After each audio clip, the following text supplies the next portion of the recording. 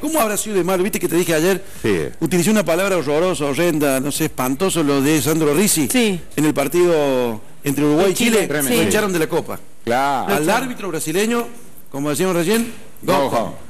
Eh, a Gonzalo Jara, eh, a pesar de que la Conmebol por ahí maneja un reglamento que por ahí no es tan eh, taxativo, no es tan riguroso como la FIFA a la hora de, de tra- tratar de sancionar a alguien por la revista o por la televisión, le está abriendo una, un expediente al, al mediocampista chileno. Sí.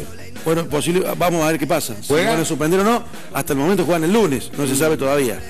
Y el club alemán al que pertenece Jara lo declaró transferible. Claro. Pertenece a un club de la Bundesliga alemana. Sí, sí, sí, Con sí. el video, con la foto, dijo no podemos tener un jugador Claro. que haga esa, que tenga esa conducta antideportiva, Antideportiva. en una competencia internacional y le pusieron un tarrito en la cabeza como los autos, ¿viste? Se vende. Entonces dice, claro, que quiera llevárselo, pues que se lo lleve. Chao. Está muy bien, está muy bien. Porque No. las dos son, los dos son faltas. La de, Cava- la de Cavani, ya Sí, pero la de Cavani lo que pasa es que es una reacción, está bien, es una reacción, pero no lo puede hacer. Pero la otra, lo que provoca eso pero, también. pero la reacción fue, la reacción fue así Sí, la igual, barbilla. sí, bueno, está, pero bien, está bien. está bien, era- es, es tarjeta amarilla. Lo que pasa es que Rizzi se dio cuenta que ya tenía amarilla. Claro, sí. Cuando lo vio, Claro, viste, claro. sacó la amarilla y dijo, uy, que Ya no me este, queda otra. no me queda- este ya estaba amonestado. Pimba y lo tuvo que pulsar. No es de hombre hacer lo que hizo Ah, el chico. tremendo.